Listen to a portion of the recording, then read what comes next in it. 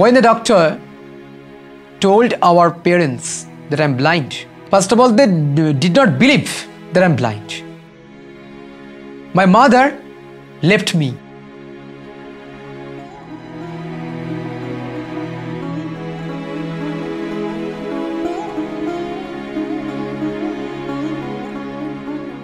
If there were not this school, these students would wither away.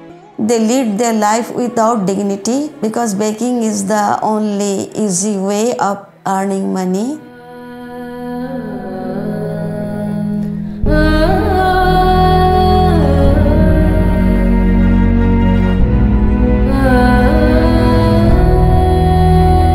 When I was admitted to this school, my condition was very bad. It was an unknown place to me. My friends extend their helpful hands to us.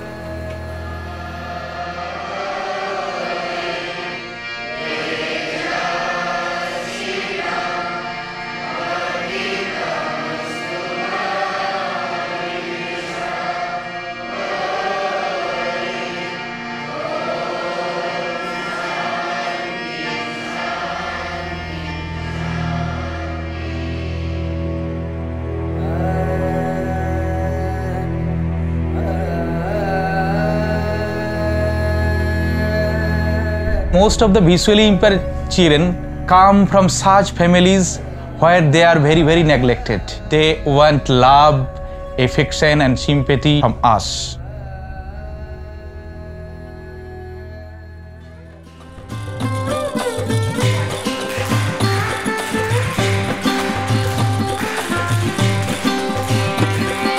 I get so much pleasure in this school.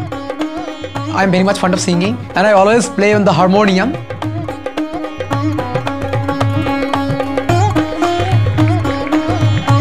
Any break time, our friends are very much fond of playing cricket. The bat and the stumps are made of iron. When it touches the iron stumps, it makes sounds and the ball runs with sound. Sometimes our teachers watch from far away and they're telling, yes, this is good, and you have um, you have, you have scored six runs. Uh, that means you know uh, he or she is encouraging me.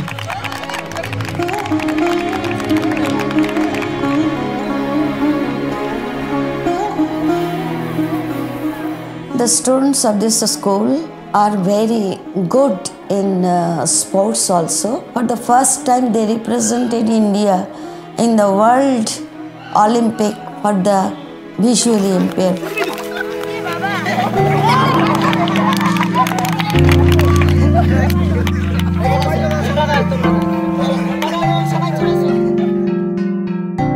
To teach the visually impaired children not an easier task. We have to have some sort of dedication, devotion. They want to know anything and everything. We try to provide the idea through sense of touch.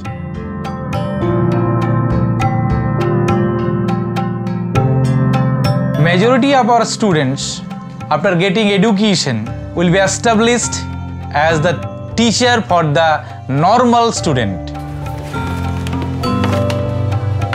As they are neglected, we try to provide them love and affection at the same time training program to make them contributing to their family, to contributing to the society also. At the same time, we provide them safe shelter, which is very, very important to have. as blind girls are very, very neglected in their society. They have to face a lot of hurdles.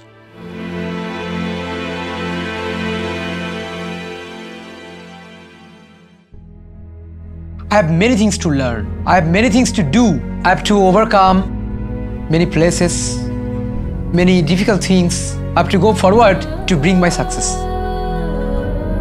All the students are brilliant. After studying, they are employed and are now well established. They are not burdened at all, but they are shouldering the burden of their family.